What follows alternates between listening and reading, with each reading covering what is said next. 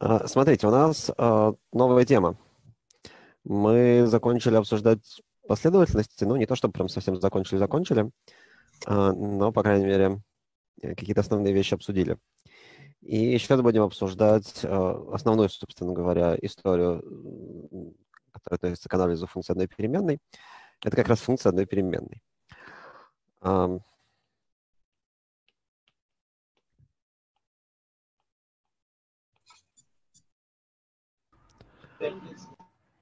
А, вообще слова функции и отображение в какой-то мере синонимы. Ну так, глобально любое отображение можно назвать функцией, а любая, а любая функция а, по, по существу является отображением. Вот. Ну, просто немножко, немножко разные контексты. Обычно, когда говорят про отображение из чисел в числа, а, то обычно такие отображения называют функциями. Ну и в частности, там, предмет, который мы изучаем. Так, у кого-то звук не выключен. Кого сейчас замьютить? Сейчас замьючу всех. Um, вот, в общем, короче говоря, давайте я скажу так. А, условно, условное определение такое, что а, значит, мы будем обсуждать функции, мы будем обсуждать числовые функции, значит, числовой uh, функцией. И пока что мы будем обсуждать функцию одной переменной.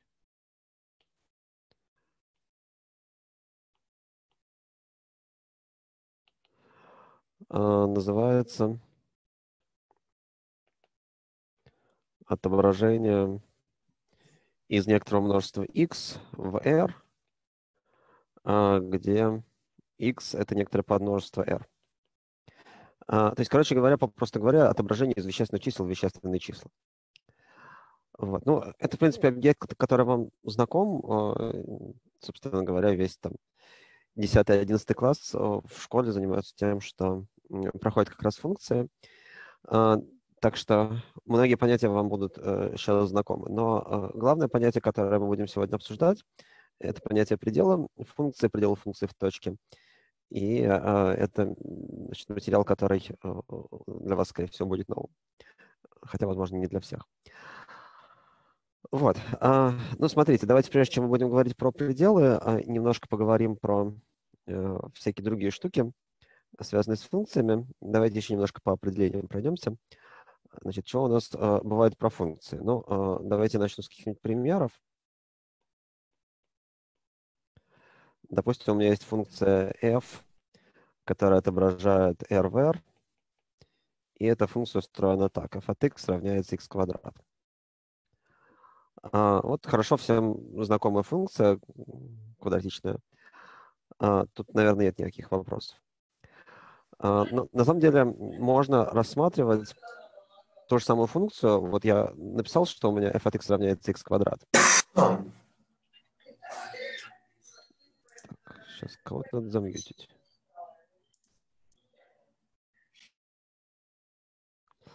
Значит, я написал, что f от x равняется x квадрат, но теоретически можно было бы рассматривать а, то же самое отображение, но только определенно не на всех вещественных числах, а на каком-то подмножестве.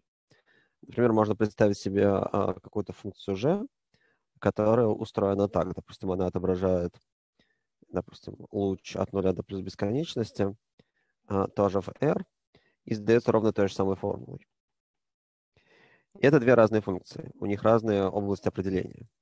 Да, давайте я скажу, что вот эта штука, которая x, а, называется областью определения функции.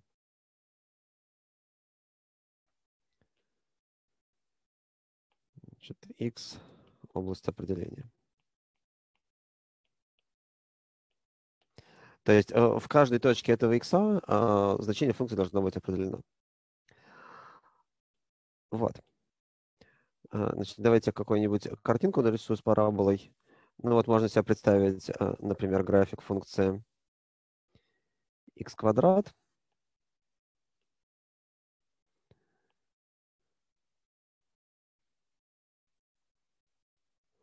Значит, вот это, это график функции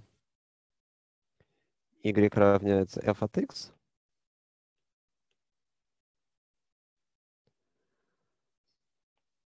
Давайте какой-нибудь другой цвет возьму. А вот это, вот такой вот кусочек, а, это график функции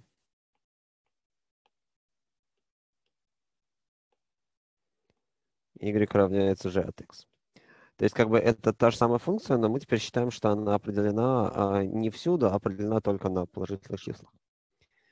То есть как бы функция другая, хотя задается той же самой формулой.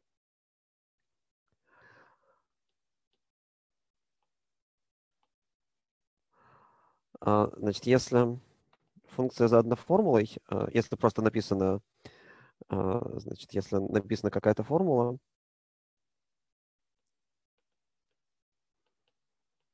Э, типа там единица на x, допустим, у нее есть естественная область определения.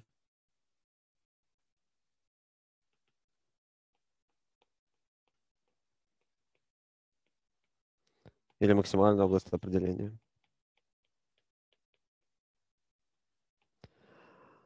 А, это множество тех значений, при которых выражение в принципе имеет смысл.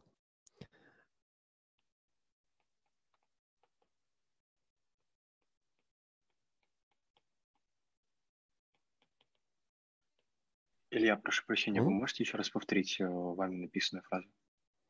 Mm-hmm, да, сейчас скажу. Сейчас скажу. А, значит,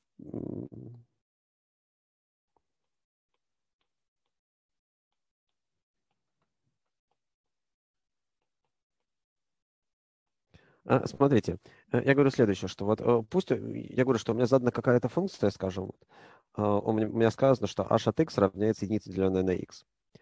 А, если я ничего не говорю, если я ничего не говорю дополнительно, то ничего не говорю про область определения этой функции, то всегда у такой штуки есть некоторая естественная максимальная область определения, а, то есть э, это то множество чисел, э, на которых, то множество значений x, для которых э, соответствующая формула в принципе имеет смысл.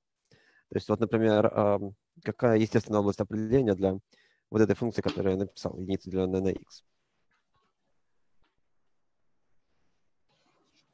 Ну, x не равен нулю. А, да, значит, например, для а, h такой естественной области определения будет все, кроме нуля. А, вот, но при этом мы можем дополнительно как-то ограничивать э, наши, наши функции. Если я захочу рассматривать вот функцию, заданную вот этой формулой, но на меньшей области определения, допустим, только на положительных числах или только на отрицательных, я это тоже могу сделать. Мне для этого нужно будет отдельно сказать, что вот давайте мы рассмотрим э, функцию, которая задана вот этой формулой, но определена не всюду, а вот только на таком-то подмножестве. Не всюду, где эта формула имеет смысл. Но если специально не оговорено, считается, что если функция задана формулой, то она определена всюду, где, в принципе, можно поставлять ее значения хоть какие-то. А, тут есть некоторое терминологическое а, разночтение в том, как вообще называются всякие объекты, связанные с функциями и с отображениями. А, значит, смотрите, а, давайте я скажу так. А, значит, в терминах, когда мы говорим про отображение, вот пусть у меня есть такая штука, смотрите. Пусть у меня есть какое-то множество x, даже не важно какое, и здесь у меня есть какая-то точечка x, и э, здесь есть какое-то множество y, и вот у меня есть какое-то отображение – f э, из x в f от x. А, значит, и тут есть немножко разные обозначения, точнее, разная терминология. А, значит, когда мы говорим про функции, а, мы говорим, что x является аргументом, f от x является значением функции в точке x.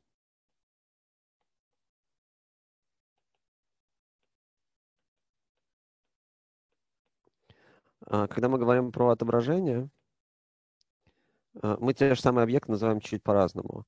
А, x называется прообразом, значение f от x называется образом x под действием f.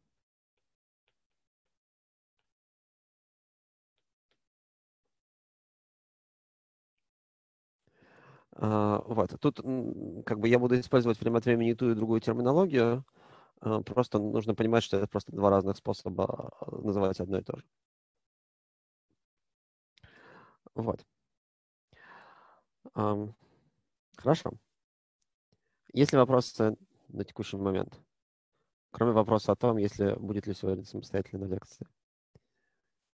Есть. А когда мы говорили про да. Mm-hmm. g от x и f от x обе параболы, одна от минус бесконечности до бесконечности, другая от нуля до плюс бесконечности. Да, да. Там получается, да, э, та, которая вот меньше от нуля до плюс, это как бы одна из ветвей параболы, что ли, получается? Да, да. Ну, на графике получается, а, на графике получается одна из ветвей параболы, да.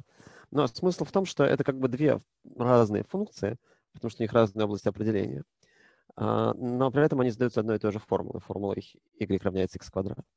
То есть как бы а, функция, она, когда мы говорим про функцию, мы обязаны, так сказать, явно или неявно задать область определения этой функции. Можете наверх чуть-чуть поднять. Так, наверх это сюда или наоборот? Да. Угу. Угу. Спасибо.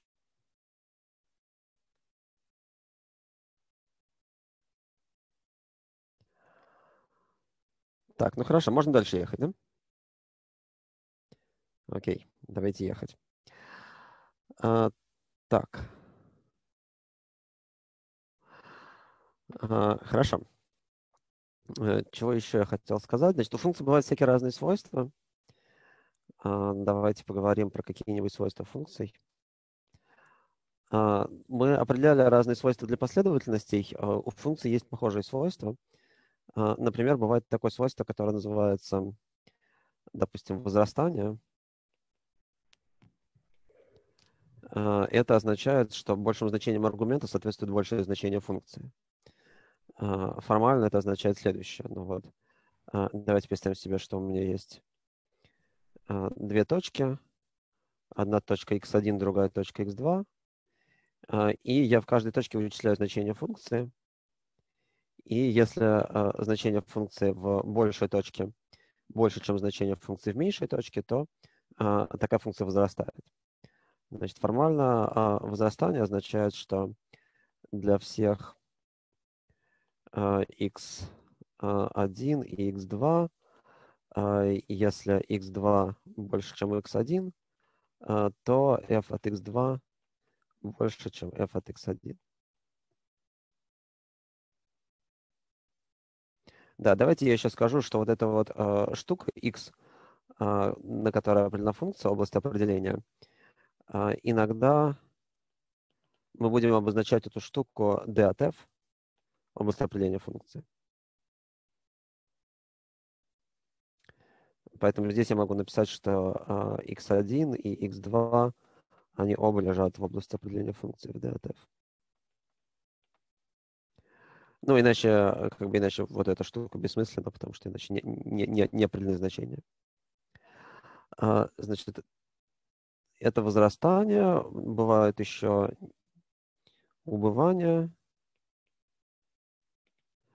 Соответственно, то, то же самое, только в другую сторону неравенства.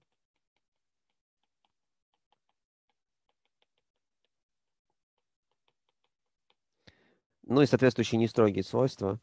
Невозрастание – это как бы нестрогое убывание –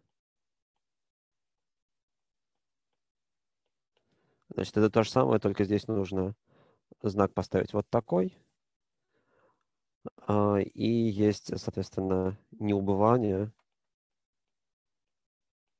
Оно же не строгое возрастание. Это то же самое, только знак нужно поставить вот такой.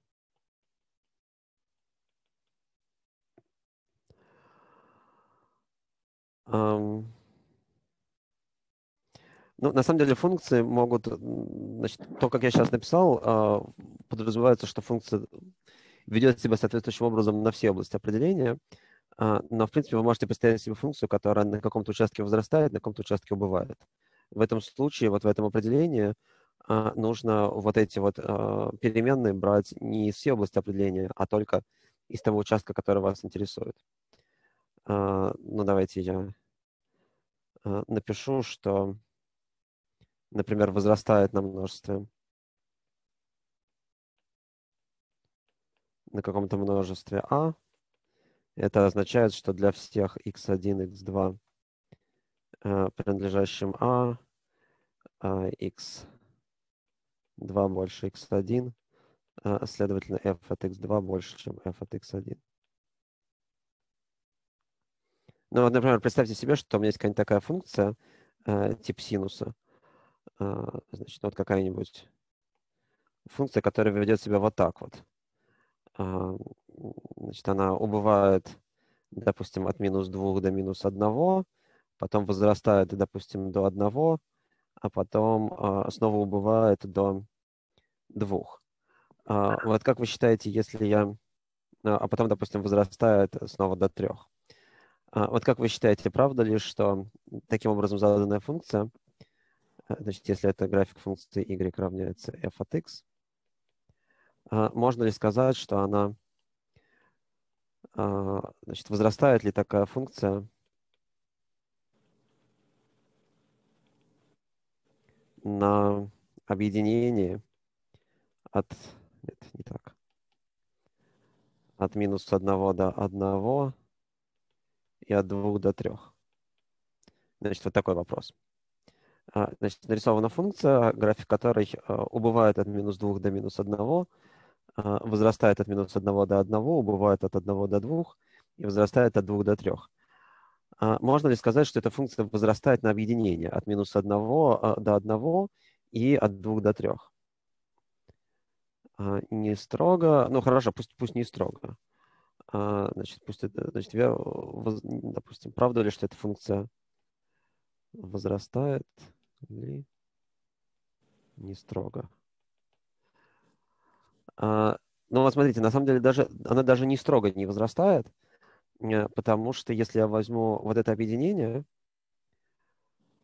а, то, смотрите, у меня по определению э, я должен рассмотреть обе точки, которые лежат в этом множестве, и они могут лежать в разных отрезочках. А, и если я, например, возьму эти две точки таким образом, одну точку возьму вот здесь, поближе к единице, у которой значение большое, а другую точку возьму на другом отрезочке, поближе к двойке, у которой значение маленькое, видно, что э, в этом случае э, значение функции э, будет, значит, вот это условие, вот это условие нарушается, что большему значению функции, соответственно, большее значение аргумента. То есть такая функция на каждом из отрезочков, которые я здесь перечислил, возрастает, а на их объединении не возрастает. Ну, то есть не является возрастающей. Так будет, так будет правильно сказать.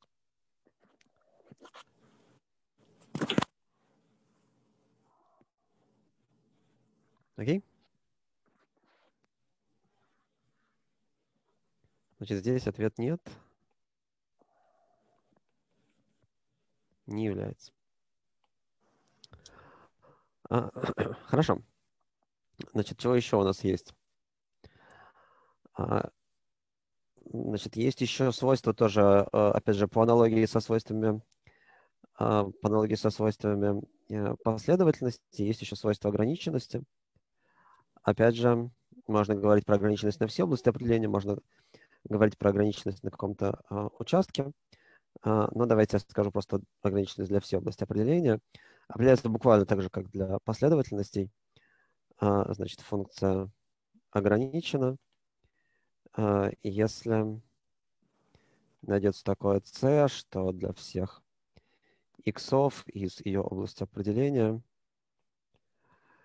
а, значение функции f в точке x по модулю меньше c. Ну и, соответственно, есть, опять же, ограниченность сверху. Это значит просто f от x меньше c. Ограниченность снизу. Это значит, наоборот, f от x больше c. А, значит, это абсолютно то же самое, что с последовательностями определение буквально такое же.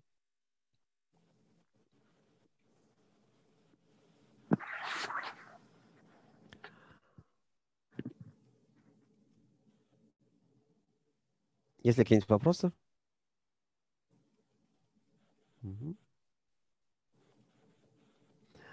Так, ну хорошо. С ограниченностью, по-моему, тут вообще нет никаких тонкостей особых. А, давайте пойдем дальше. Значит, чего я еще хотел сказать здесь про функции.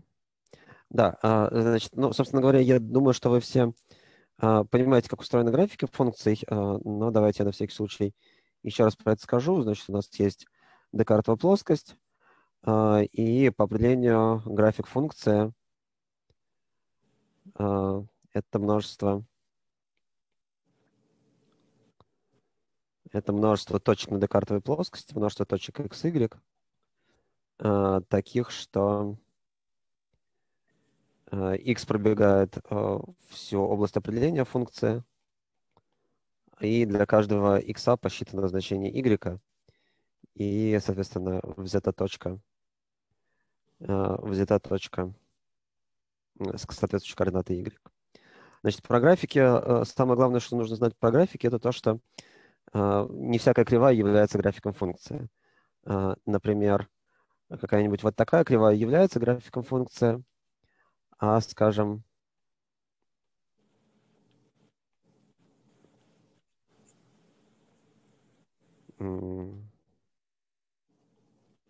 скажем, вот такая кривая не является графиком функции. Ну, по крайней мере, точно не является графиком функции y равняется f от x, потому что одному, одному и тому же значению x тут соответствует больше, чем одно значение y. Для графиков такого не должно быть, потому что значение функции должно быть определено однозначно. А, значит, не является графиком функции.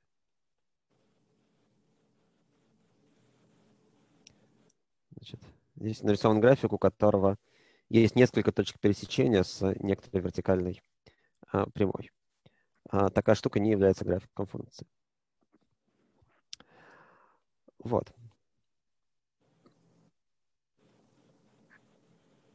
Хорошо. А, ну что, про какие-то совсем общие свойства функции я, наверное, поговорил. Ну хорошо, давайте еще, раз уж мы заговорили про графики, давайте я еще дам пару определений. А, значит, бывают функции, а, функция называется четной. И если ее область определения симметрично относительно нуля.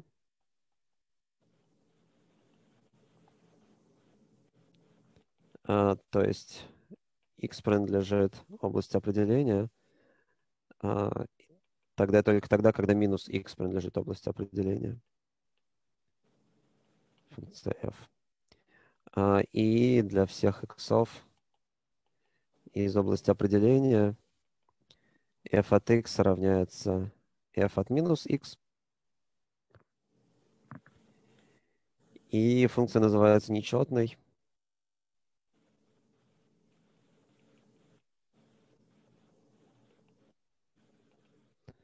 Аналогично, а, аналогичное начало, только концовка различается.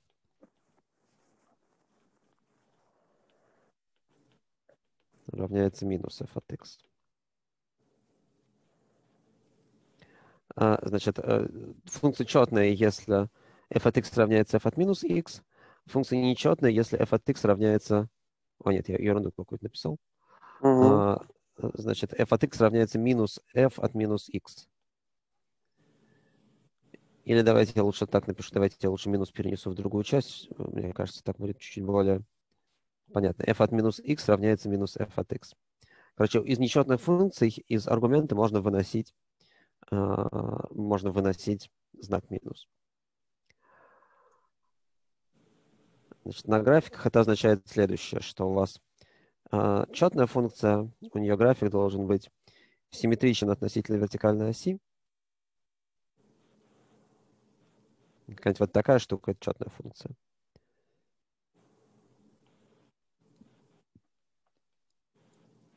Скажите еще раз, нечетная когда что? А, значит, нечетная, когда f от минус x равняется минус f от x.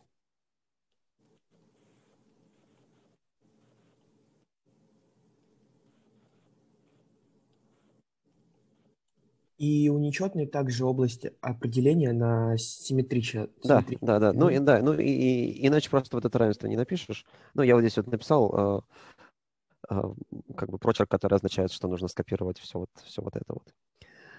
А, значит, ну давайте я какую-нибудь нечетную функцию нарисую. Э, График нечетной функции должен быть э, симметричным относительно начала координат.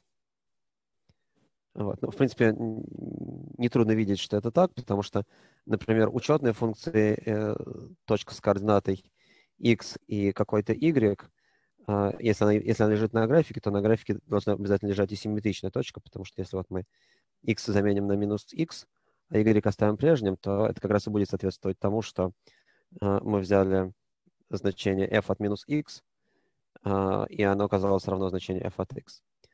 А для нечетной функции а, симметрия должна быть относительно начала координат. Так мы же наоборот написали. А, нет, сейчас, ну, по крайней мере, э, так, по крайней мере, все, что сейчас нарисовано на картинке, все правда, по-моему. А, с, с чем вы видите противоречие? Ну так нечетная, она же э, симметрична относительно оси ОY. Сейчас, значит, нечетное симметрично относительно начала координат. Смотрите, у меня, э, если у меня есть э, какая-то точка с координатами x, y, то, которая лежит на графике функции, то если я теперь возьму симметричный x, то я должен взять симметричный y. То есть если я поменяю знак у x, то я должен поменять знак и у y. А, Получается вот э, такая точка на графике. Значит, вот эти вот две точки на графике, они а, как бы, а, если взять отрезок, который их соединяет, то он обязан проходить через начало координат, и они получаются друг, друг из друга отражением относительно начала координат. Симметрия относительно начала координат. Центральная симметрия такая. А, Как я снял ваше, э, ваше недоумение или нет? Ну, вроде да.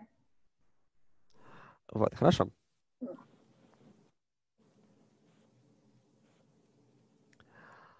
А, Вот, ну, это, пожалуй, все из таких совсем общих свойств функций.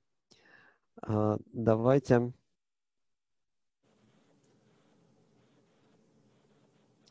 а, Давайте, наверное, поедем дальше.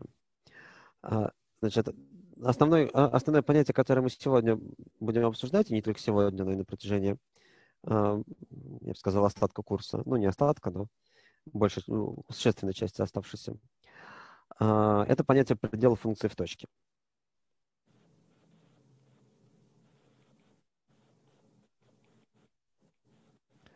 А, Значит, давайте я, а, прежде чем я буду давать формальное определение предела функции в точке, давайте я а, покажу несколько примеров. А, Значит, пример первый. Давайте я возьму какую-нибудь функцию, например, y равняется x квадрат, а, построю ее график. А, Значит, вот у меня график функции y равняется x квадрат. А, И давайте возьмем какую-нибудь точку, допустим, точку 2. Ладно, точку 2, наверное, надо взять подальше чуть-чуть. И задам такой вопрос.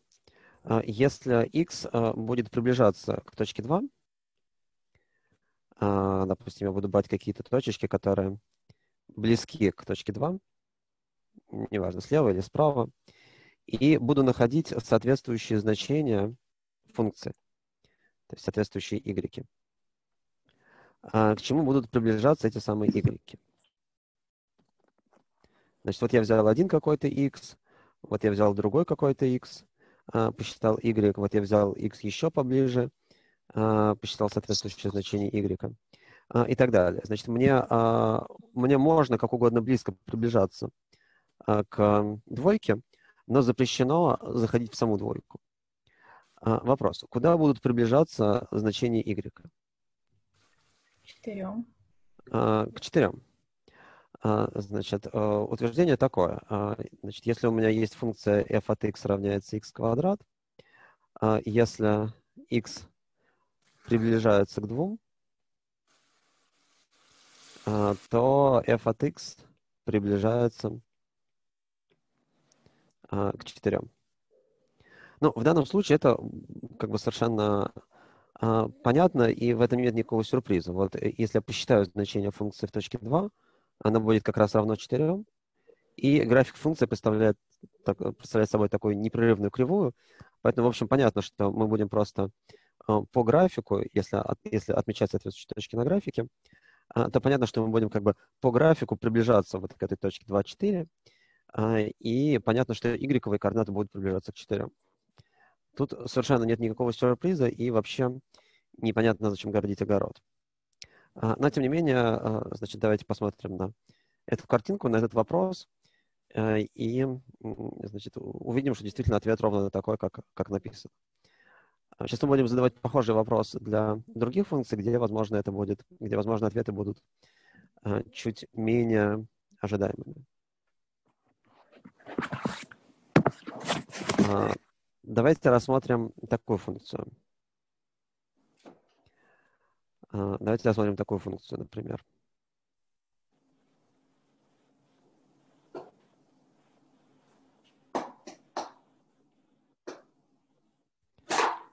Значит, скажем, у меня есть функция, ну, давайте как-нибудь обозначу g от x, которая устроена так. Она равняется, например, 3x а, а, если x не равен, скажем, единице, и нулю, если x равен единице. А, значит, вот такой способ с скобкой – это такой способ задания функции, которая определена по-разному, разными формулами на разных участках области определения.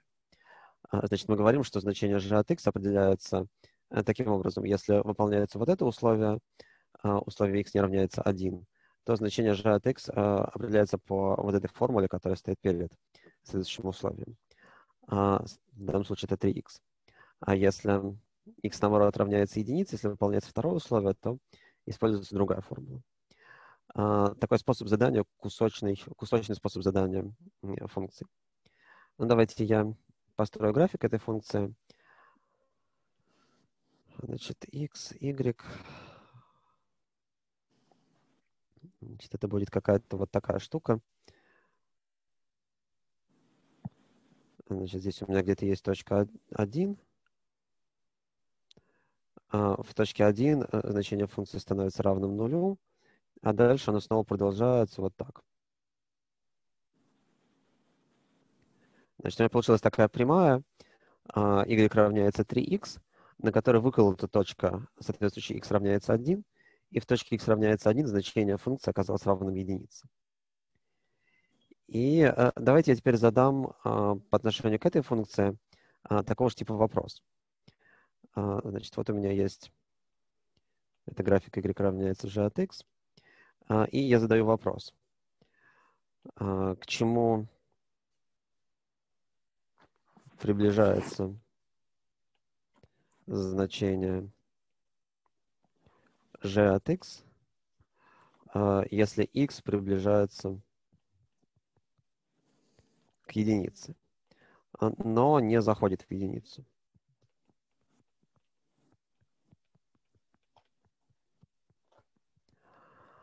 Значит, опять же, я могу представить себе, что я выбираю какую-то последовательность, например, значений,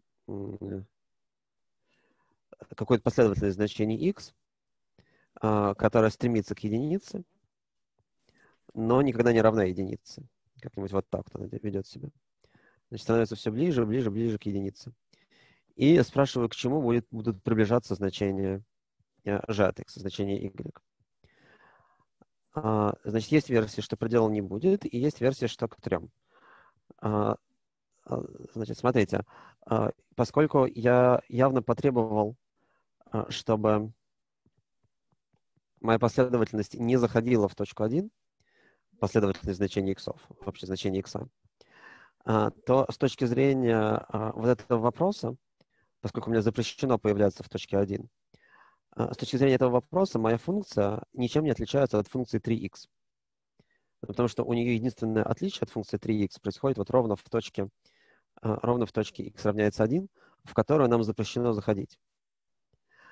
А, поэтому ответ будет такой же, как э, был бы ответ в случае, если бы функция была просто 3x. Значит, если x приближается к единице, то значение функции будет, будет приближаться к 3. Несмотря на то, что значение функции в самой точке 1 а, совершеннейшим образом не 3.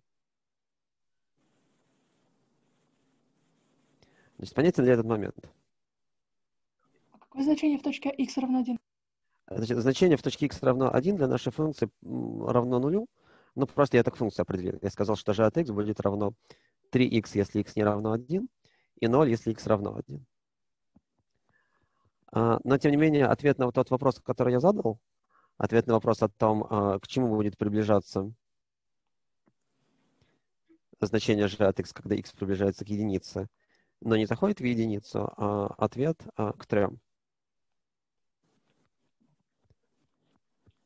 Значит, вот у меня вот эти точки на графике y будут приближаться как раз вот, вот к этому числу 3.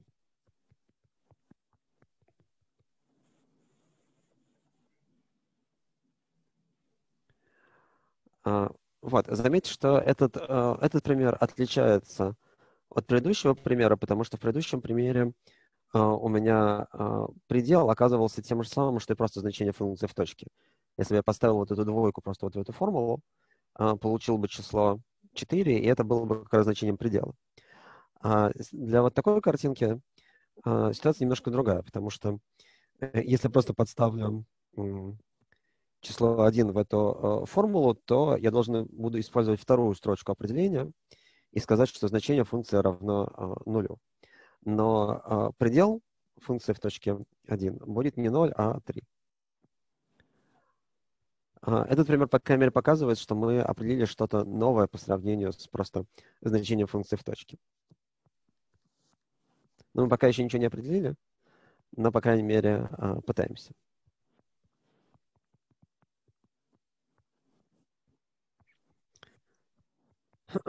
Понятна ли эта идея?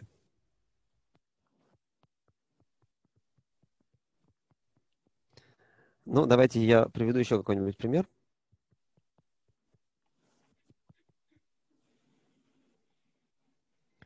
А, давайте теперь такую функцию возьмем.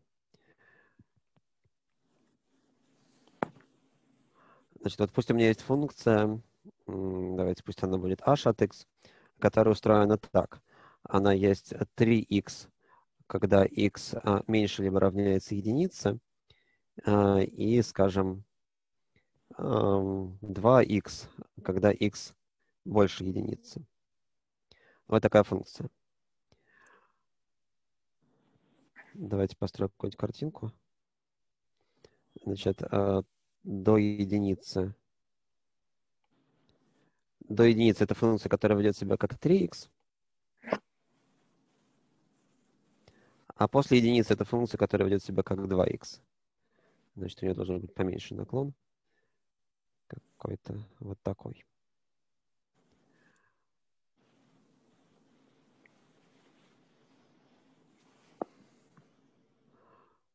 Значит, значение функции x в точке 1 равно 3. Значит, вот это 3. И это 2. Значение функции, э, значение функции h э, в точке 1 э, равно 3. Но при этом для тех значений, которые больше единицы, она описывается функцией 2x. Поэтому если чуть-чуть отклонился от единицы вправо, то у меня уже значение будет не 3. Ну и давайте попробуем задать тот же самый вопрос, что и раньше. А, значит, к чему приближается h от x, когда x приближается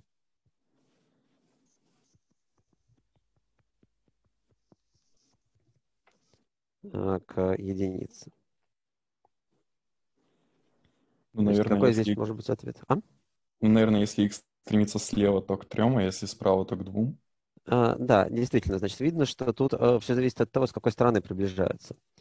Но вот если я просто спрашиваю, к чему приближается, а, точнее не так, если я говорю, что x просто приближается к единице, не, не указываю, с какой стороны, то это означает, что а, он может приближаться как угодно, то есть он может скакать, на самом деле, между а, значит, кусочком справа от единицы, кусочком слева, слева от единицы.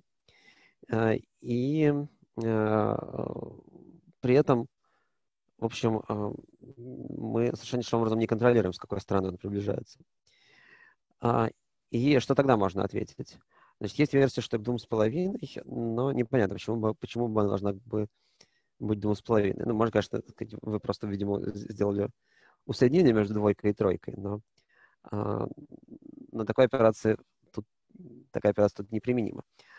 А, значит, и, и, неправда, что он приближается к двум с половиной, потому что два с половиной где-то вот здесь, а, где-то вот здесь посерединке, но на самом деле он не приближается к двум с половиной. Он может приближаться, значение y может приближаться либо к тройке, либо к двойке, а двух с половиной, наоборот, будет далеко. Ну да, а, значит, предела, так как оно написано, когда x просто приближается к единице, без указания, с какой стороны, а, этого предела нету. Значит, в данном случае ответ ни к чему не приближается, нет предела. Ну, потому что мы можем, с одной стороны, мы можем приближаться к двойке, с другой стороны, можем приближаться к тройке, а одного числа, к которому мы бы приближались бы, его просто нет. Значит, такое тоже бывает. Ну, ладно, отсутствием пределов нас теперь не удивить.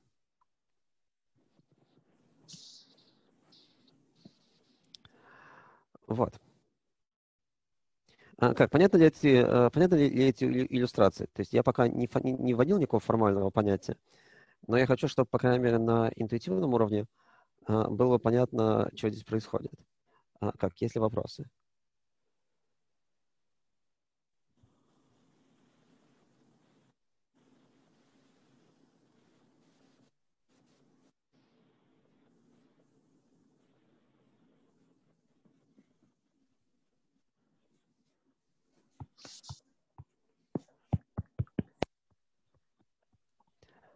Хорошо. Ну, давайте тогда...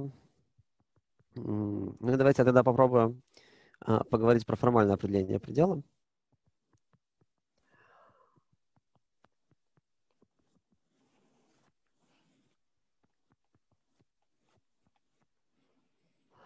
Значит, давайте представим себе, что... А, да, прежде чем я буду говорить про формальное определение, давайте...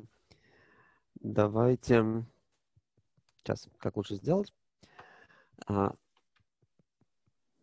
ну ладно, давайте попробуем придумать его, а потом э, введем необходимую терминологию. А, значит, вот у нас есть какая-то функция f. А, значит, у меня есть какая-то функция. Не очень понятно, как она себя ведет, но вот как-то она себя ведет. А, и я взял какую-то точку, ну пусть будет x0.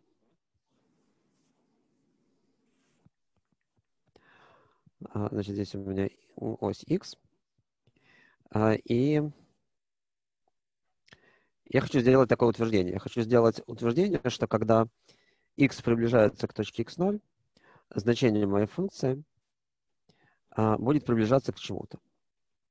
Значит, вот у меня функция y равняется f от x.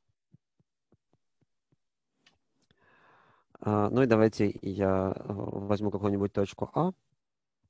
Или ладно, пусть будет B. А, значит, я хочу сказать, что когда а, у меня значение x близко к x0, а, то значение y близко к b. Ну, что это означает? Что означает близко? Значит, мы уже привыкли, когда мы обсуждали понятие предела последовательности, мы привыкли к тому, что можно ввести какую-нибудь меру близости, сказать, насколько близко, а потом потребовать, чтобы оно было бы, чтобы как бы выполнялось бы любое условие близости, что э, как хотим сделать близко, так и сделаем близко. Значит, в случае с пределами последовательности мы говорили так, что вот я хочу, чтобы у меня э, элементы моей последовательности были бы на расстоянии меньше, чем 1 десятая, допустим, э, от э, предела. Говорили, окей, возьмем эпсилон равно 1 десятой, э, нам выдадут какое-то n большое. Значит, если мы только возьмем элементы последовательности, начиная с этого n большого, то они все будут э, ближе, чем э, на расстоянии 1 десятая от предела. Здесь мы хотим сделать какую-то похожую штуку, но только здесь у нас нет последовательности, а есть функция. А, но идея примерно такая же. То есть мы хотим сказать вот что. Мы хотим сказать, что мы можем заставить а, значение функции а, быть а, как угодно близким к точке b. А, то есть а, мы хотим а, заставить значение функции а, быть в какой угодно маленькой окрестности точки b. Значит, давайте я начну писать определение. А, значит, давайте я начну а, его писать в начале и э, начну писать начало этого определения и начну писать конец этого определения. Значит, в начале у меня будет а, точно так же, как в определении предела а, последовательности, в начале у меня будет для всякого эпсилон больше нуля. А в конце я хочу сделать а, заявление, которое говорит, что значение функции близко к точке b. Значит, я сейчас делаю утверждение, предел при x стремящемся к x0, f от x равняется b. Значит, что мне нужно написать в конце? Значит, вопрос в первую очередь, естественно, к тем, кто раньше определение предела не видел, потому что те, кто видели, конечно, знают, что нужно написать, и это неинтересно. Профессионалы в конкурсе не участвуют. А, значит, что я хочу написать в конце, чтобы по смыслу было бы значение f а, близко к b. f от xn минус b меньше эпсилон? А, да, значит, f от чего-то там минус b а, по модулю меньше эпсилон. А, значит, по поводу xn, тут на самом деле можно действительно а, определять предел с помощью последовательности, и получится так называемый предел по гейна, а, э, который мы еще будем обсуждать. Но сейчас я хочу сформулировать немножко другое определение. Хотя, впрочем, в начале сегодняшней лекции, когда я рисовал картинки, я подумал, что, может быть, может быть, э, нужно нарушить традицию, сначала дать определение предела по гейна, потом из него вывести определение по каше.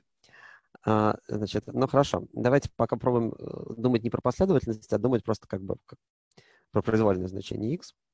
А, значит, но действительно требование именно такое, а, чтобы значит, в конечном итоге мы хотим добиться того, чтобы значение f, значит, чтобы расстояние между значением f и точкой b, вот такое вот расстояние на графике, а, чтобы оно было меньше эпсилона. А теперь вопрос. Что нам нужно потребовать, чтобы этого добиться? Понятно, что просто так, а, вот я возьму какую-нибудь точку, она будет какую-нибудь точку вот здесь. Ну вот она будет как-то далеко, ее значение будет как-то далеко от точки B. Какого типа условия нужно наложить на x, чтобы мы могли бы такого типа значит, такого типа утверждения добиться? Значит, я хочу, я хочу теперь... Вот это формализация понятия о том, что значение f близко к b. А теперь я хочу как-то формализовать идею о том, что сам x должен быть близок к x0. Ну, то же самое для x. А, то же самое, а, а то ну, же то самое... Есть, значит, нулевое, и там по модулю тоже, чтобы было меньше чего-то. Того же, а, да, меньше чего. Ну, пускай тоже эпсилон. А, но смотрите, если будет меньше тоже эпсилон, то а, может быть неудачно. Если вы хотите вот такую штуку сделать, а, то тогда, например, представьте себе, что у меня, значит, вот если бы мы сделали вот такую вещь, представьте себе, что у меня функция, которая устроена так. Давайте рассмотрим функцию y равняется 2x. Вот такую функцию. А, значит, э, ну и давайте возьмем какую-нибудь точку 1, скажем. Все, понятно, да, окей. А, теперь у меня, а, если x, есть расстояние от x до x0, то есть до единицы будет эпсилон, а, то а, соответствующее расстояние по y будет вдвое больше, потому что моя функция все удваивает. И это не то, что мы хотим. А, c умножить на эпсилон. А, да, но тогда, тогда возникнет вопрос, а кто такой c? Можно просто сказать, что существует какое-то некое да. k, что x минус x0 по модулю меньше k. Совершенно верно. Совершенно верно, да, отлично. Смотрите, значит, а, обычно эта штука обозначается не k, а дельтой, мы ее будем тоже обозначать дельтой. Значит, знакомьтесь с новой греческой буквой. Значит, утверждение на самом деле такое. Для всякого эпсилон большего нуля найдется некоторая дельта. Ну, она вообще тоже больше нуля, но это в данном случае не очень важно. Такая, что верно следующее утверждение, что если расстояние от x до x0 меньше дельты, то расстояние f от x до b меньше эпсилона. Давайте посмотрим сейчас на это определение и скажем, нравится оно вам или нет. Насколько оно соответствует тем,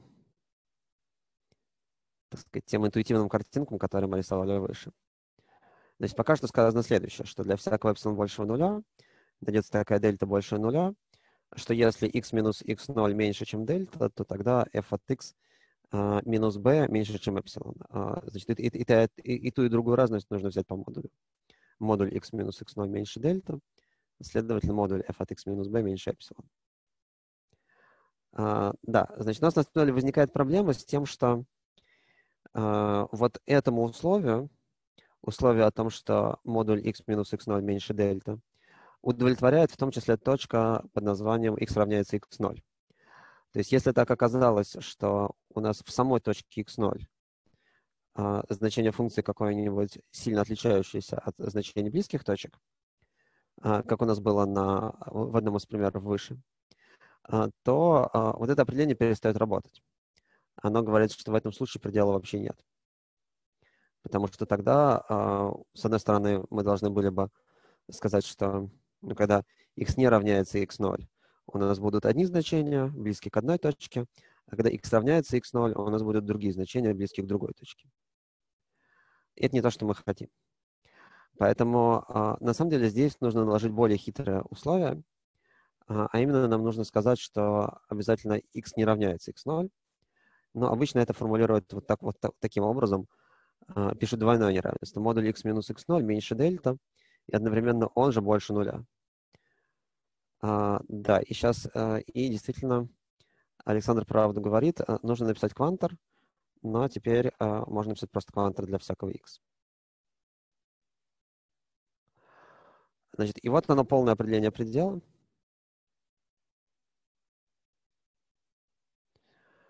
Значит, для всякого эпсилон большего нуля найдется такая дельта больше нуля, что для всех x справедливо следующее.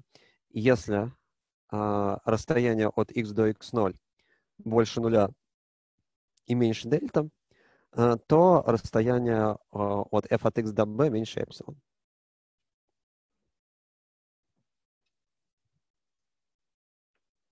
Значит, давайте посмотрим на это определение.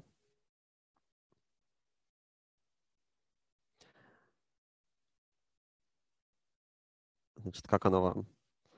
Ну, вас уже все-таки не напугать э, определением с тремя кванторами.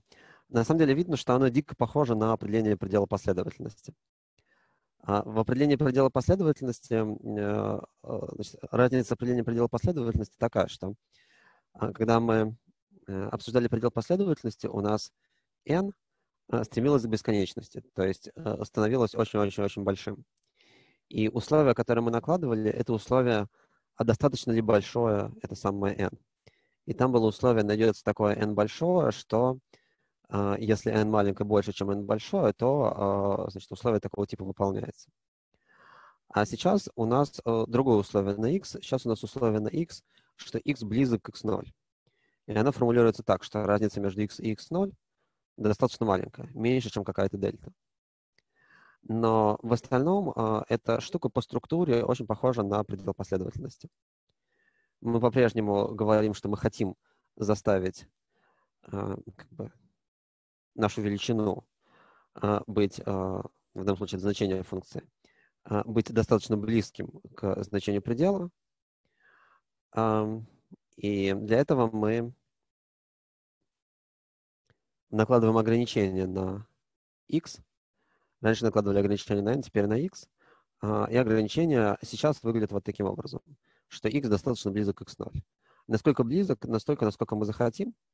Главное, чтобы, а, ну, главное, чтобы нашлась такая дельта.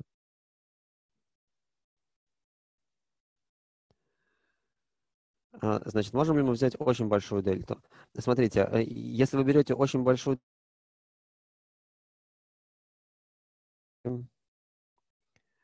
как бы, смотрите, вот здесь, э, вот здесь квантра для всякого x.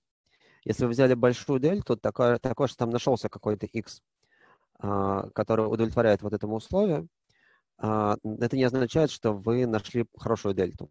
Потому что э, вот эта штука, вот, вот вся вот эта вот вещь должна выполняться для всех иксов. Мгм. Да, это хороший был вопрос.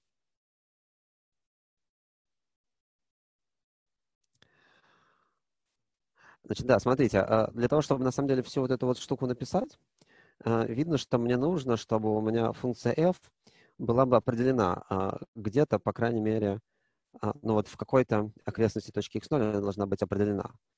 Э, И, и справа от x0, и слева от x0. В самом x0 не обязательно, чтобы она была определена, но нужно, чтобы она была определена, как говорят, в проколотой окрестности точки x0. А, Иначе просто это определение не имеет смысла, ну, точнее, оно просто ни- никогда не будет выполнено просто потому, что вот эту штуку нельзя будет посчитать, э, если у вас будут какие-то тут проблемы с областью определения. А, ну, давайте я все-таки введу э, некоторую терминологию, которая мне понадобится. А, Значит, а, определение. Я значит, хочу сделать три определения, связанные с окрестностями. Первое. Окрестностью точки какой-то точки А называется э, любой открытый интервал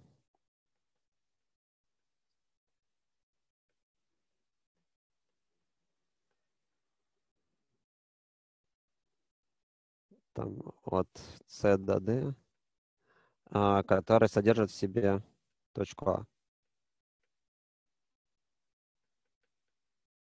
То есть мне нужно, чтобы А принадлежало этому интервалу от C до D.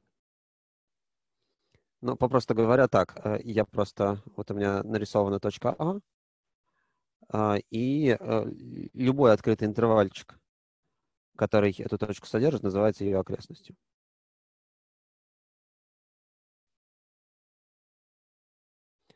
Значит, я напомню, что открытый интервал — это штука, которая не включает концы.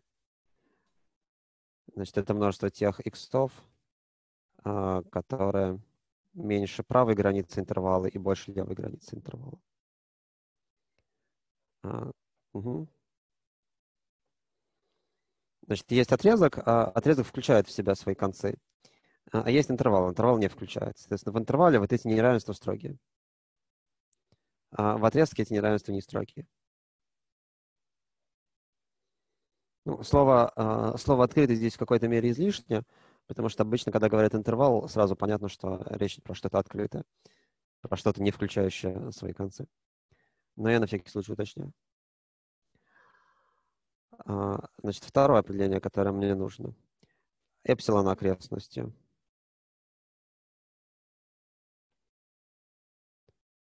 а, точки А называется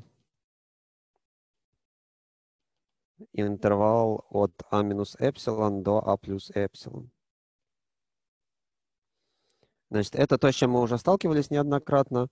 А, Значит, если я просто рассматриваю множество точек на расстоянии меньше эпсилон от данной, то как раз получается эпсилон окрестности данной точки.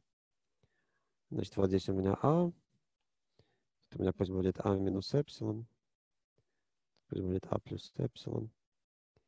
И а, вот эта штука это эпсилон окрестность. Ну, понятно, что вместо эпсилона можно поставлять любые э, другие переменные и, а, или конкретные числа. Например, можно спросить что, что-нибудь про один окрестность данной точки или про дельту окрестность данной точки. А, Значит, вот эта штука, она же записывается как множество таких иксов, что расстояние от x до a меньше эпсилон. И обозначение, которое я сейчас ввожу, а раньше не использовал, э, у эпсилон от а. Значит, это обозначение для эпсилон окрестности. У с индексом эпсилон от точки А.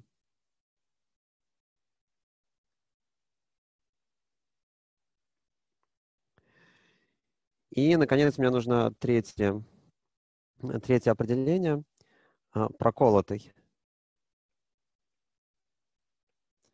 эпсилон окрестностью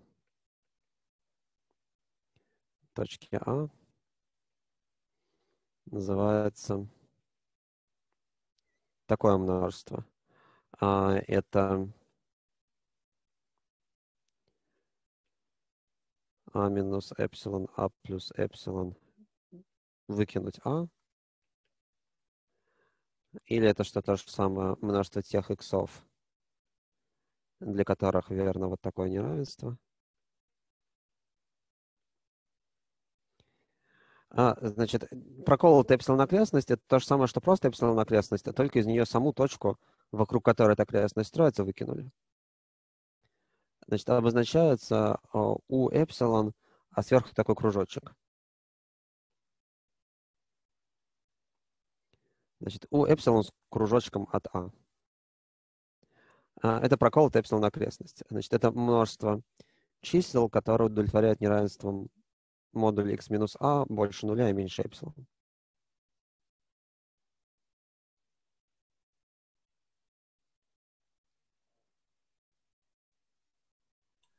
А разница между окрестностью точки А и эпсилон окрестностью точки А это только включенность крайних точек, да, получается?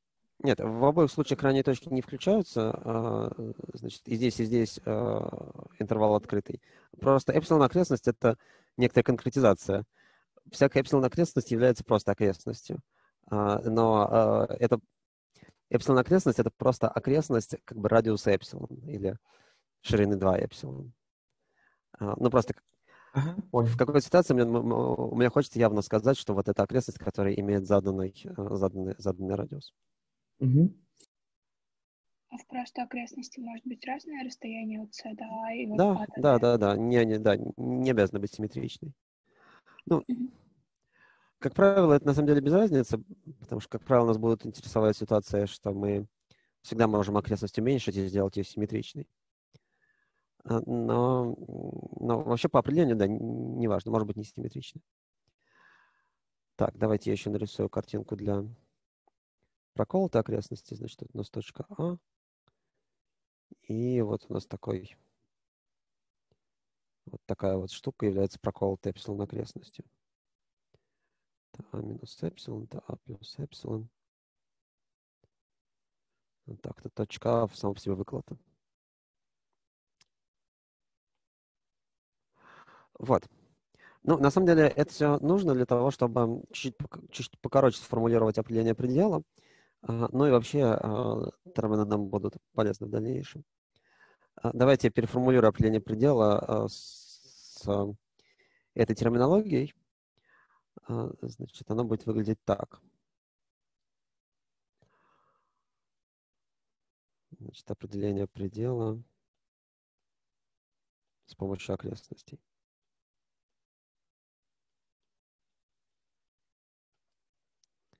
Значит, опять же, я делаю утверждение, что а, предел при x, стремящемся к x0, f от x равняется какому-то b. И теперь это определение выглядит так. А, для всякого эпсилон большего нуля найдется такая дельта больше нуля, а, что для всякого x, а, принадлежащего кому?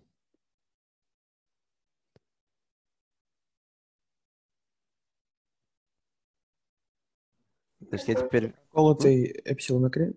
Прокол... Проколотый дельта окрестности. Да, проколотый дельта окрестности точки x0. Значит, f от x принадлежит эпсилон окрестности точки B.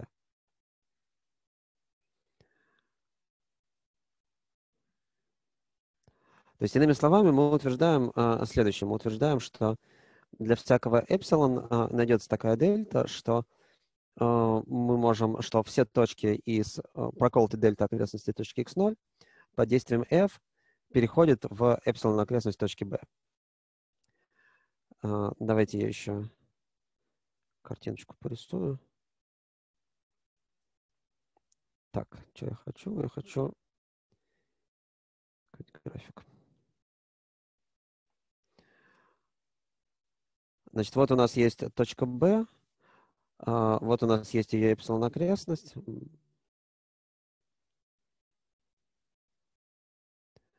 А, дальше вот здесь у нас есть точка x0. А, здесь у нас есть эпсилон окрестность точки x0. И, соответственно, я утверждаю следующее.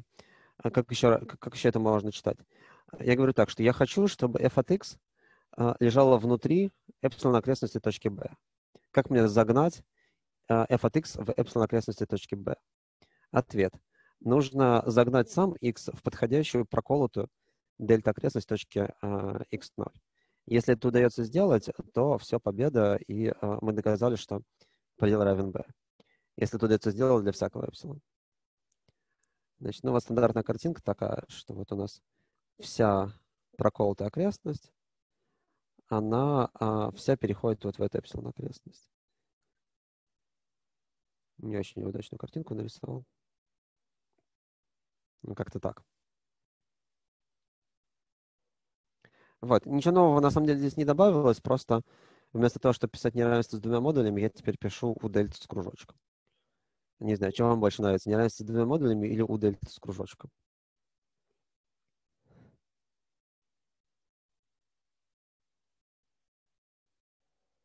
Модули, модули точно не забудешь. Вот это Ну, забыть да. просто элементарно. Ну, это как бы вопрос, э, вопрос привычки, когда вы м, 150 раз напишите у дельта, у дельта, у дельта, тоже станет Да, так можно еще как вопрос? модуль. Давайте. А у нас будет определение по гейне? Ну, потому Будет. что вы не написали, Будет. что то это определение по каши, и как-то Да. меня это смутило. Да, это определение по каше, определение по гену тоже будет. Э, На следующей лекции определим предел ой, определим предел по гену, докажем, что эти два определения эквивалентны. Все будет. А у нас получается вот крайнее значение x0 минус э, дельта, оно переходит в... Ой, на картинке вашей. Мгм. Вот левое значение x0 минус дельта, оно переходит в b минус эпсилон, да? Ну, я, я, криво, я, я криво нарисовал, но не, оно не, не обязано, ой, а, оно не обязано переходить прямо-таки в b минус эпсилон. Сейчас давайте я чуть-чуть, чуть-чуть приведу эту картинку в порядок. Давайте я возьму вот тут вот, такая вот, вот такую точку в качестве b минус эпсилон. А, главное, чтобы, главное, чтобы оно переходило бы А, внутрь. попадало, да? А, все, А, понял. Нужно, нужно, чтобы оно попадало внутрь этой окрестности. Ну, опять же, совсем крайнее значение нас не очень интересует, потому что нас интересует все, что, все, что внутри. То есть нас интересует, чтобы точки, которые лежат в этой окрестности, не включая ограниченную точку, они переходили бы, опять же, в открытую окрестность, не включая ограниченную точку, э, по эпс- в в открытую эпсилон окрестность точки B, соответственно, по Y. Ну вот, вот так вот.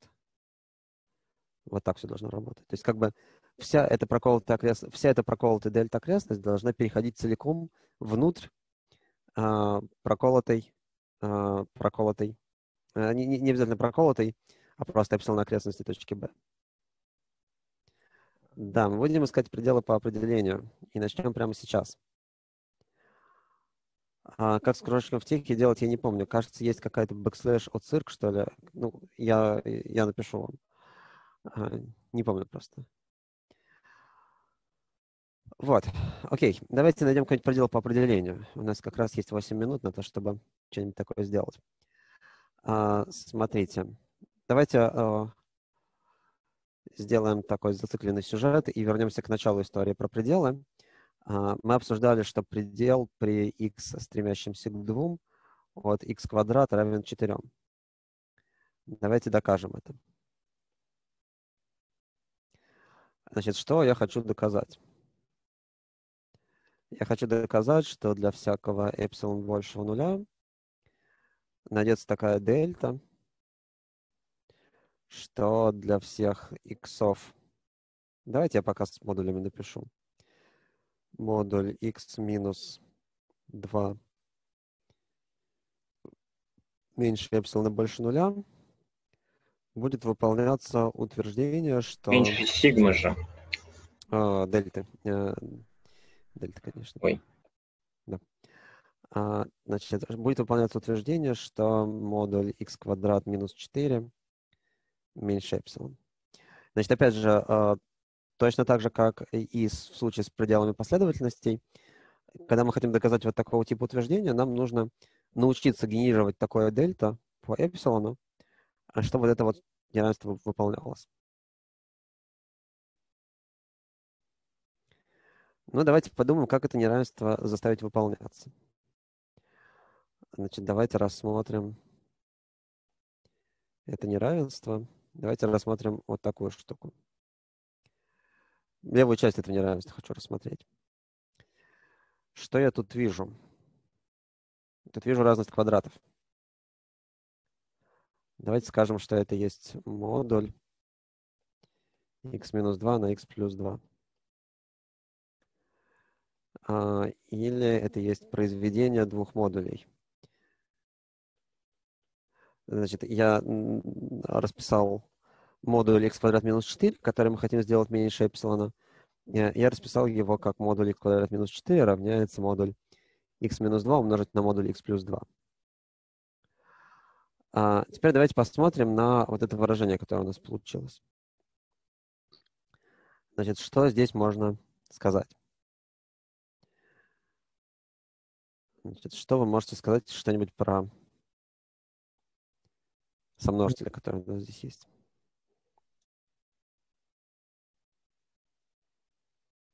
М?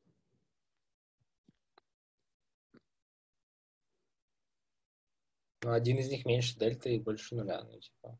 Да, э, значит, по крайней мере, про первый из них можно точно сказать, что он меньше дельта, потому что нас интересуют не все иксы, а только те иксы, которые лежат соответствующей дельта окрестности, проколотой дельта окрестности. А, значит, то, что эта штука больше нуля, нам сейчас не очень интересно. Нам важно то, что она меньше дельты. Значит, первый сомножитель меньше дельта. Модуль x минус 2 меньше дельта. Ну хорошо, мы хотели бы все прямо ограничить а, как-то сверху. Ну, а, второй меньше, второй чем дельта плюс 4. Второй меньше, чем дельта плюс 4, да. На самом деле можно даже так сделать. Смотрите, можно даже э, не слишком сильно здесь э, заморачиваться, а можно сказать вот что. Э, смотрите, значит, вот у нас есть э, x, который живет где-то вблизи точки 2. Значит, давайте я нарисую точку 2. Uh, и вот у нас есть какая-то дельта-окрестность точки 2. Значит, 2 плюс дельта, 2 минус дельта. А, и здесь есть где-то, значит, э, вторая скобка это модуль x плюс 2. А, можно сказать, что это расстояние от x. Где-то у меня здесь x. Что это расстояние от x до а, минус 2. Значит, вот это расстояние, это и есть модуль x плюс 2. А, теперь смотрите, я могу на самом деле сделать такую штуку. Я могу потребовать, чтобы моя дельта была бы меньше чего-нибудь конкретного. А, потому что дельту я все равно сам выбираю. И как я ее буду выбирать, это уже мое дело. Давайте я потребую,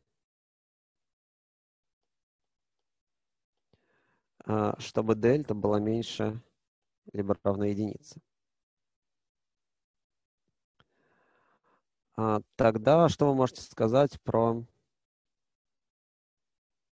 модуль x плюс 2? Больше единицы. А, значит, я хочу наоборот оценку, а, я хочу наоборот оценку сверху, я хочу ограничить его вот так. Я хочу сказать, что он меньше либо равен чему-то. Значит, если дельта у нас а, меньше либо равна единице, давайте самую большую дельту возьмем, какая бывает. А, давайте скажем, что а, у нас дельта равна единице тогда x будет лежать от 1 до 3. И тогда его расстояние до минус 2 будет э, самое большое равно 5. Вот это как бы самая плохая ситуация, которая у нас бывает. А модуль x минус 2 меньше либо равняется... Э, модуль x плюс 2 меньше либо равняется 5 в этом случае. Значит, ну, можно аккуратно это расписать. А, а можно спросить? У нас да, же давайте. оно строго меньше пяти, нет? Строго ну, вообще-то. Пожалуйста, давайте ну... напишем строго меньше пяти. Я согласен. Я согласен. А, вот. Ну да, так, та картинка, которую я нарисовал, она как бы вот эта вот точка, она все-таки чуть-чуть левее тройки, потому что там строго неравенство. Но здесь это не очень важно. А, вот. Хорошо, то есть смотрите, что у нас получилось. У нас получилось, что одна скобка меньше дельта, другая меньше пяти. Обе скобки положительные. Это значит, что их произведение меньше, чем 5 дельта. А, вопрос теперь. Как выбрать дельту так, чтобы вот эта штука была меньше эпсилона?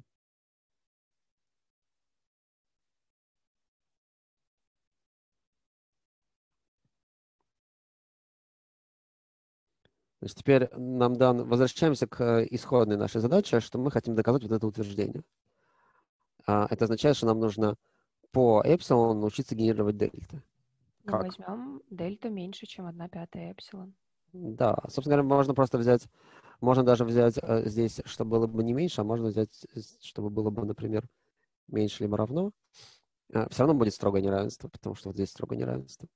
И можно взять просто, э, возьмем дельту, равное эпсилон, деленное на 5. А, есть, правда, одна проблема с этим выбором. Какая? Мы потребовали, чтобы дельта была меньше единицы. Да, вдруг пришел и это не для всех эпсилон.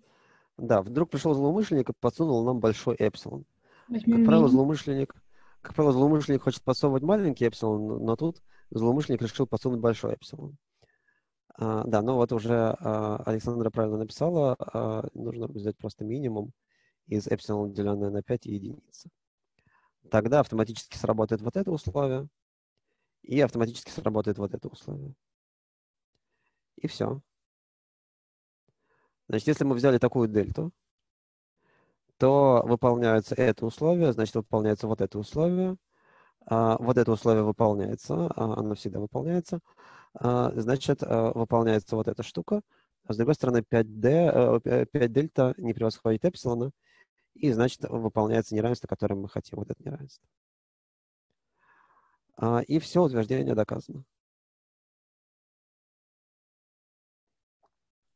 А почему мы берем минимум из эпсилон делить на 5 и единицы? Потому что мы хотим, чтобы выполнялось два условия. А, первое условие, чтобы дельта была, не превосходила эпсилон, деленное на 5. А, иначе у нас а, вот в этом месте оценка не пройдет. А второе условие, мы хотим, чтобы дельта была, не превосходила единицу, потому что именно это условие позволило нам оценить второй сомножитель здесь, модуль x плюс 2. Можно еще раз про эту оценку, пожалуйста? Почему вы сказали, что она меньше 5 дельта? Почему Сейчас, а, да, ну потому что один сомножитель меньше дельта, другой сомножитель меньше пяти. Значит, их произведение меньше пяти дельта. А, а почему тогда меньше пяти? А почему модуль x плюс 2 меньше 5? Mm-hmm. А, смотрите, значит, э, я взял, э, я взял дельту, не превосходящую единицу. А, в этом случае значение x меняется в интервале самое большое а, от 1 до 3. Значит, самая большая разность будет в том случае, когда x будет близок к 3. То есть э, понятно, что для так выбранной, для так выбранной дельты, э, значит, если мы хотим увеличить э, модуль x плюс 2, то нам нужно увеличивать x. А, и самое большое значение x, которое только возможно, оно будет очень близко к 3. А, значит, по крайней мере, оно будет не больше 3. И, значит, модуль x плюс 2 будет а, меньше 5. Ну, можно было бы это написать формально с помощью там, пары неравенств. Но э, мне кажется, полезно посмотреть на эту картинку и убедиться в том, что это действительно так. Значит, вот наша максимально возможная э, как бы range э, для y, для x. Э, и видно, что э, значит, модуль x плюс 2 это как раз расстояние от точки минус 2 до x. Если мы хотим его максимизировать, то нам нужно отогнать x как можно правее. На правее тройки не отгоним. Если дельта кажется поменьше, но все эти, все эти же самые рассуждения работают. Ну, просто вот у меня будет дельта какая-нибудь вот такая, а, и самый большой x будет где-то вот здесь. Но все равно а, здесь расстояние будет меньше 5. Как, убедил? Да, спасибо, понятно. Угу. А почему мы рассматриваем дельту именно меньше либо равно единице? Почему нельзя посмотреть э, больше? Смотрите, нет, смотрите, значит, здесь мне просто нужно было как-то оценить вот эту штуку. А самый простой способ оценить эту штуку, которую я придумал, такой. Взять какую-то конкретную дельту и убедиться в том, что а, с этой дельтой или с меньшими дельтами эта штука оценивается. И у меня все получилось. Я мог бы здесь сказать, что пусть, э, значит, потребуется, чтобы дельта была меньше либо равняется двум или трем или одной второй. Все сработало бы точно так же, но вот эта константа поменялась бы. Но это ни на что не влияет. Вот. Э, в принципе, можно было бы здесь явно, явно оценить через дельту, но тогда здесь возникла бы какая-то квадратичная штука, зависящая от ну, дельты. Да, мы могли бы записать, да, что x плюс 2 Ну, дальше мы, бы, мы, дальше мы бы мучились бы, дальше мы мучились бы с тем, что нам нужно было бы, как бы у нас бы тогда вот здесь вот возникло бы не вот такое неравенство, 5 дельта не превосходит эпсилон миленькое, а было бы какая-то квадратичная штука здесь слева по дельте, и нам нужно было бы, ну, я не знаю, что делать, опять же, либо оценивать какие-то слагаемые в этом квадратичном неравенстве каким-то образом, что, в общем, эквивалентно тому, что я сделал, либо решать это квадратичное неравенство, а э, это приятного мало. Решить такое неравенство гораздо проще. Как мне здесь э, достаточно было любой грубой оценки на вот это, это неравенство, и я ее получил. Хорошо, а можете еще раз рассказать про минимум? Мы минимум из каких соображений взяли? А, минимум мы взяли из тех соображений, что нам нужно, чтобы вот эта штука работала, потому что а, именно в этом случае работает вот эта оценка. Mm-hmm. А, а с другой стороны, нам нужно, чтобы а, вот эта штука работала, чтобы 5 дельта была бы не превосходила эпсилон. А для этого мы выбрали дельту просто равной эпсилон деленное на 5, но как бы нам нужно, чтобы оба условия соблюдались, поэтому минимум из двух. Понял, спасибо. Угу. Можно еще раз какой-то тут 5 получилось? Ну, как получилось 5? Смотрите. Прямая. А, ну вот давайте, а, вот, значит, а, можно смотреть так. Можно смотреть, что... Давайте посмотрим... Окей, э, давайте я совсем сейчас попробую формально написать. Значит, мы знаем, что... Вот я потребовал, чтобы дельта была бы меньше либо равна 1. Тогда x... Ну, что мы знаем? Мы знаем, что x минус 2 а, меньше либо равняется дельта, больше либо равняется минус дельта. Можно сказать, что x меньше либо равняется 2 плюс дельта, больше либо равняется 2 минус дельта. Если дельта не превосходит единицы, то это означает, что x э, лежит на интервале. Э, сейчас здесь строгий везде нужно неравенство писать, я пишу не строгий. Значит, что x лежит на интервале от э, 3 до единицы.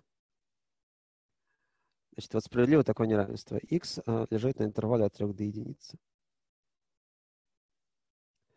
А, дальше, давайте посмотрим теперь на x плюс 2. В каком интервале лежит x плюс 2?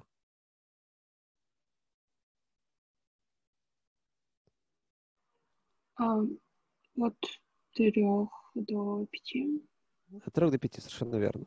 А теперь смотрите, если x плюс 2 лежит от 3 до 5, Э, то к чему самое большое может э, равняться его модуль? Пяти. Пяти.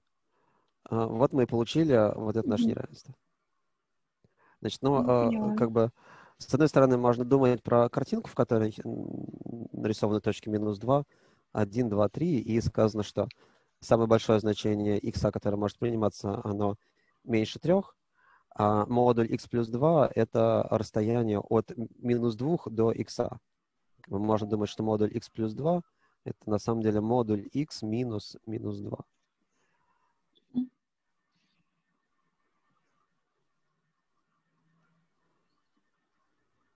Спасибо.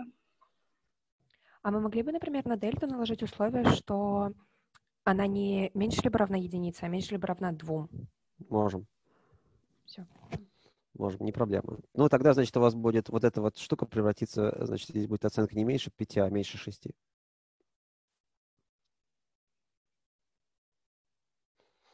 Но, окей, тогда возьмем здесь не эпсилон на 5, а эпсилон деленное на 6. Но все равно все сработает.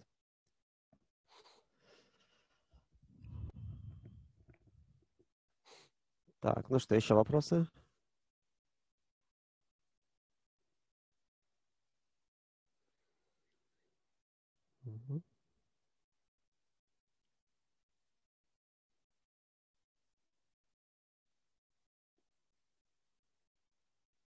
Так, ну что, по лекции вопросы закончились, я так понимаю.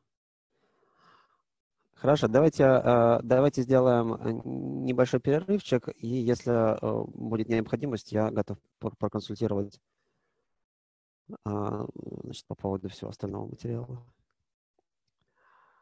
Окей. Все, до свидания. До свидания, спасибо. До свидания. До свидания. До свидания. До свидания. До свидания.